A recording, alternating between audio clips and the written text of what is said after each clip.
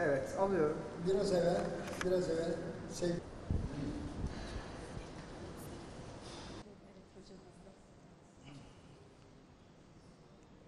Şimdi esasında ben e, iki yıldır e, belgeselim çekiliyor. Evet.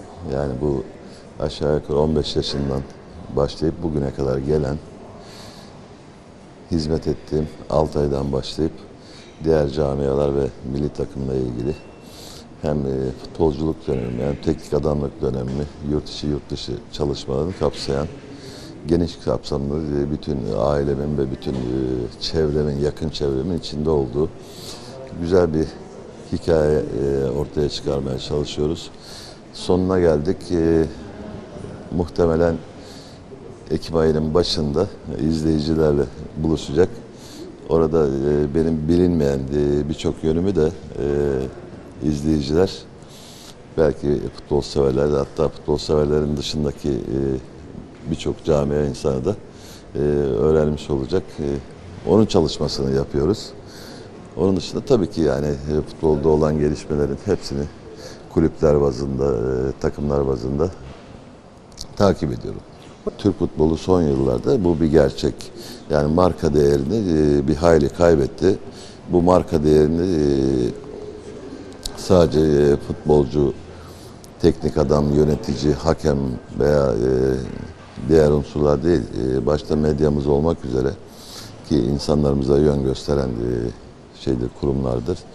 Herkesin yani Türk futbolunun ayağa kalkabilmesi için bakın sendelemedi falan yani Türk futbolu şu anda bu manada e, kalite olarak da e, davranış biçimi olarak da fair play olarak da e, yani bir hayli dipte. Yani bunu e, mutlaka çıkarması lazım e, burada görev yapan arkadaşların.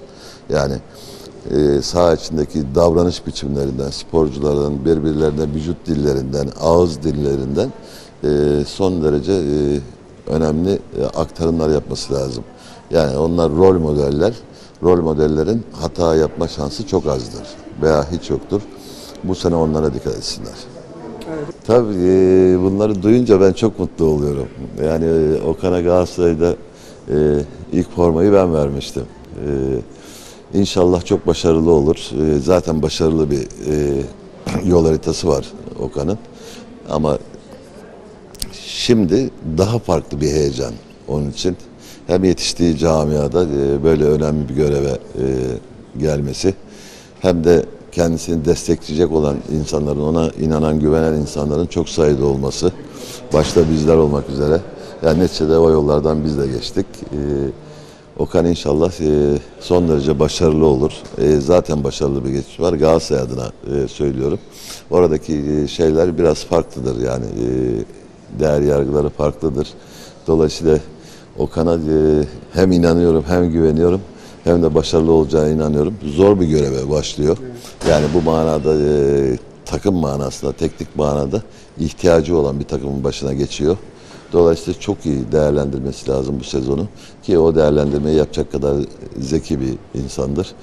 Onu e, şimdiden e, gözlerinden öperek e, başarılı bir sezon diliyorum. Anladığım kadarıyla siz kesinlikle doğru tercih diyorsunuz transfer için. benim doğru veya yanlış tercih deme şansım olur mu öyle şey?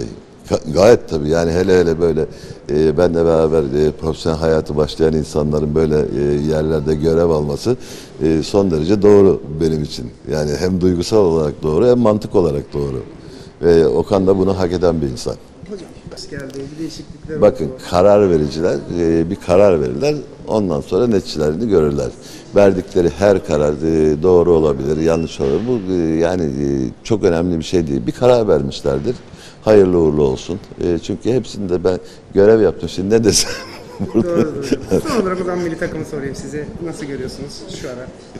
Ya e, bakın e, milli takım yani öyle bir dönem geçirdi ki biraz üzüldük. E, sevindiğimiz bölge bizim sevineceğimiz bölge değil aslında. Yani bunu kabul etmek lazım.